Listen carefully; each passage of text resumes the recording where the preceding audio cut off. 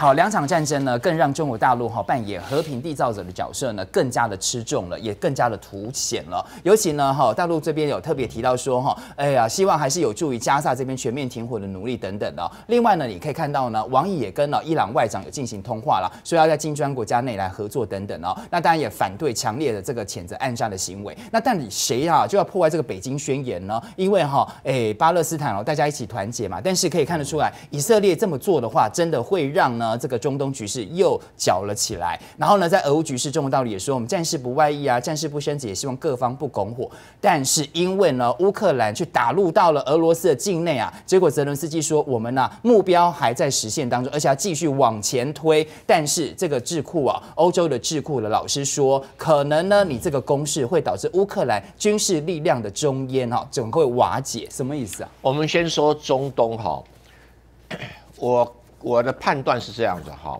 中国和王毅啊，已经为中东的和平啊，做下了一个功不可没的一个基础。嗯，怎么说？有人说破坏北京宣言没有了，还好有北京宣言哦，凸显因为北京宣言把哈马斯跟法法塔尔绑在一起，十四个派别绑在一起，主要是这两个派别，主要是这绑在一起。现在这两天正在开启中东和平谈判，你注意到没有？哈马斯没有派人去，但法塔尔有啊。哎，哈马斯从来没有说我否定这个谈判哦，他只是说我不去。OK，没有。我不负政治责任，但是他没有说不接受。OK，好，这还好有北京宣言绑住了。OK，就是哈马斯已经同意而且承认巴勒斯坦解放组织可以代表所有的巴勒斯坦人，所以只要点火谈判，这个巴勒斯坦解放组织的代表法塔尔同意签字了，哈马斯就认账。了解，嗯，还好有这个北京宣言，是要不然你这个谈判不是白谈了吗？对，啊，而且可以救了哈马斯，因为现在哈马斯。坦白讲，也苦不堪言呐。对啦，真的被打。如果能够谈判成功，而且碰巧很好，因为美国准备选总统啊，那个民主党急着要达成这个和平停火。对，因为这对他们内部分裂太大了。对啊，对啊，对，因为你民主党想要靠这个来赢川普啊，嗯，所以美国不会去干扰，OK，而会推进。那中国做了这么一个大善事，OK，那既救了以色列，也救了哈马斯，嗯嗯，也救了中东的和平。所以哈，你。诺贝尔和平奖不颁给王毅哦，就不公道的。我跟你讲，真的，再来重要。嗯，我觉得泽伦斯基这些几个朋友们哈，他都没有把中国兵书好好念一念。嗯哼，中国兵书很有名，叫《空城计》，听过没有？对对，他老兄啊，派了将近一个师的部队攻进去库尔斯克，一看，哎呦，怎么都没人啊？嚯，很快，我一天攻进三十公里，很开心呢。就攻进去了要啪嚓，三十公里被挡住了。对，然后对外宣传说，我占领了一千平方公里，七十四个部。他是在用那个于将军的数学。于将军的数学。什么叫一千平方公里啊？就是三十公里宽乘以三十公里长，并不是这样。那就就是一千平方公里啊。嗯。很多人把它误解为是一千公里长，完波中逮级啊。它不是，他完全被挡住了。嗯。那为什么我说说是空城计呢？它本来就没有任何俄罗斯的军队，然后更糟糕，那个地方的地形哈，就像咱们中国的贵州，像台湾的苗栗县，山多都是丘陵，嗯，然后现在麻烦来了，这个俄罗斯运来的空降兵都在丘陵上面，就你乌克兰军队都在什么谷底里面，你说我有公路，问题都很狭窄啊，怎么办？进也不是，退也不是，嗯，现在就被挡在那边了。那往东走也被挡住，往西走也被挡住，然后就宣传我占了七十几个村庄，三十公里，三十公里，说难听点，不过一个台北市大啊，嗯，有七十个四个村庄有什么了不起啊？那村庄都很小，对，很小。所以泽伦斯基说战略目标正在实现，你拿这个三十公里宽敞，你能干嘛？俄罗斯土地是大的不得了哎，那俄罗斯为什么？要把七万多的居民那个附近全部都弄走，就是要怎么样？要焦土轰炸。嗯，没有，不，你干嘛这么做？手了啦，就是要焦土轰炸。所以你刚才讲轰炸机就出动了，对不对？是啊。哎，没有自己的俄罗斯平民随便他炸，他蒙着眼睛乱炸也无所谓啊。所以我觉得欧洲智库现在终于清醒了。对啊，他说。你把最精锐的机械化部队从各个地方抽起来去打这个空城计里面的空城，你是有够笨啊！我觉得欧洲智库是急得不得了啊。嗯，对。那如果俄罗斯根本不用跟你打，他轮番轰炸，对不对？就把你包起来了，啊，就再见了，再见了，对，就再见了。所以我是觉得他以前是打一九姆是用这种打法，嗯嗯，就问题一九五的地理状况跟这个是是不一样，一九五附近的平原比较多啊，嗯，你现在都是丘陵地，而且很狭窄啊，你的军队根本展不开，你有没有？对，那你怎么办？嗯，你你现在是等着普丁睡觉是吧？给你空投物资吗？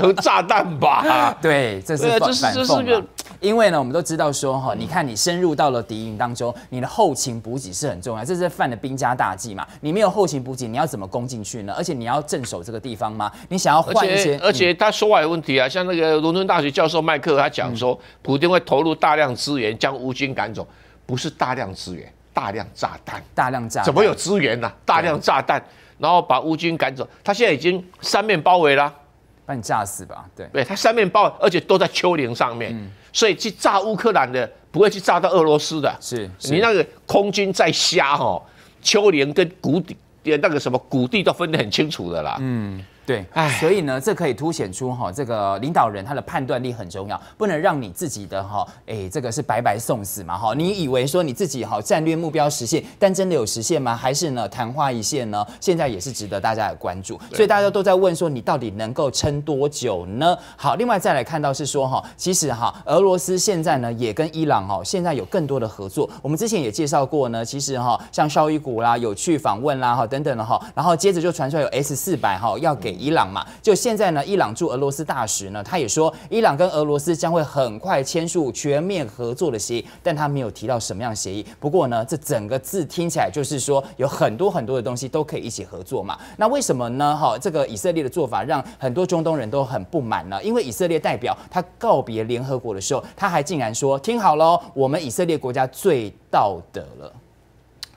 哎呀我以色列讲这话干什么嘛？你在讲什么道德不道德？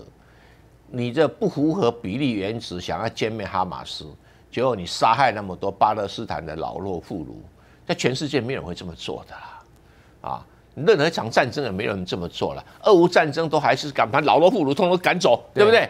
要打我们男人自己来打，”对啦，嗯，那就不是才正对。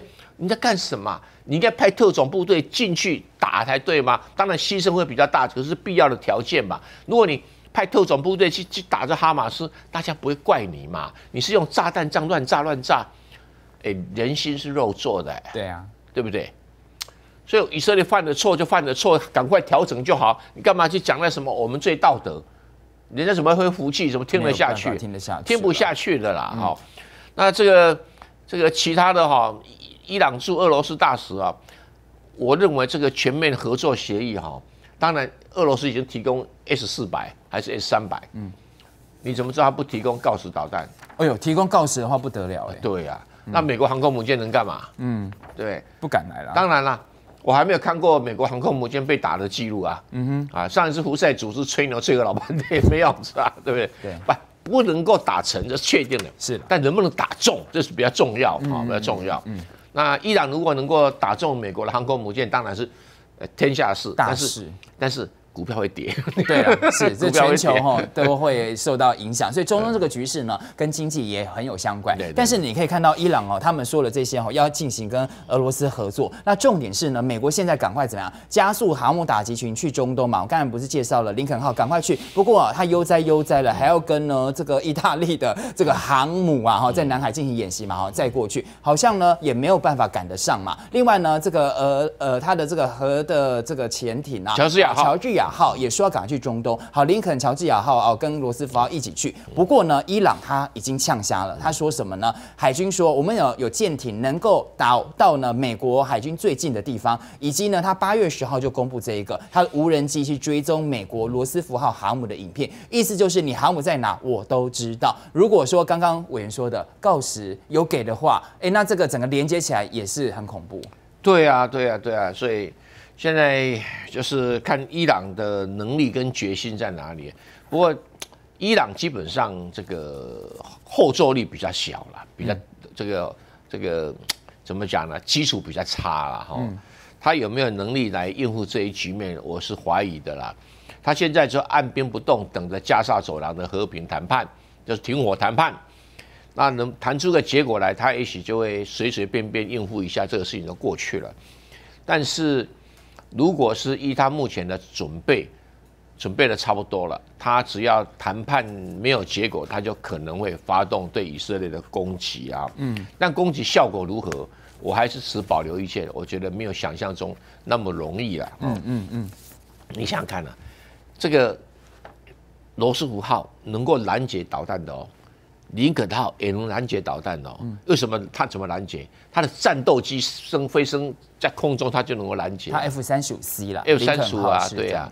然后那个罗斯福号虽然是 F 十五哈，可以拦 F 十八可以拦截，但是比较老旧了，比较老旧，会效能比较差。现在林肯号是来 F 三十五，拦截效率非常非常高。注意到战斗机是可以拦截导弹的，对啊。嗯，那剩下的它当然更能够能够打下很多什么大型的这些这些无人机嘛，哈，更不是问题啊。是，那再加上它有调了 F 二十二啊，都来了，对啊，还有从意大利也调来一个 F 十六来支援了，英国也调来呃 F 十五来支援了，它干嘛？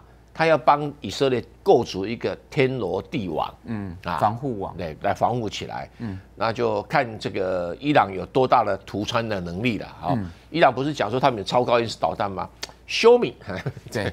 如果说哈这个局势哈，因为伊朗现在是咽不下这口气嘛，所以呢，美国哈是不断的帮哦以色列哈进行又是围事嘛哈，包了很多的这个哈安全网，希望哈这个伊朗哈不要呢打穿去。但是呢，这个凸显出因为以色列它就是不断的狂轰滥炸，导致呢整个全世界的心哦都反了哈。尤其以色列还是我们最有道德等等的哈。另外来看到是傅聪啊哈，大陆驻联合国大使也说，以色列袭击加萨的学校真的令人发指，而且呢，以色列还有高层说啊，还有什么两百。万人饿死哈，这个也是可以的，骇人听闻。也希望美国拿出真诚的推动停火这件事情。但是呢，中国大陆喊话归喊话，我们都知道，美国跟以色列若绑在一起的话，以色列继续干的话，这个局势也是不会缓下来。